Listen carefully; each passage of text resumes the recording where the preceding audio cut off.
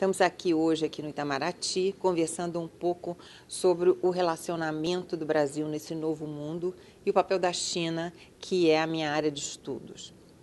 Eu vejo aqui uh, o que está acontecendo como uma grande uh, oportunidade de repensar aquilo que nós uh, viemos como, atuando na política externa. E no caso da China em particular,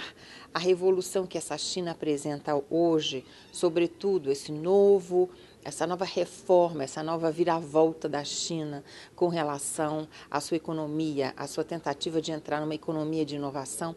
abre certas possibilidades para o Brasil que nos faz pensar novamente como estamos inseridos nessa política internacional e de que maneira nós podemos nos engajar com a China.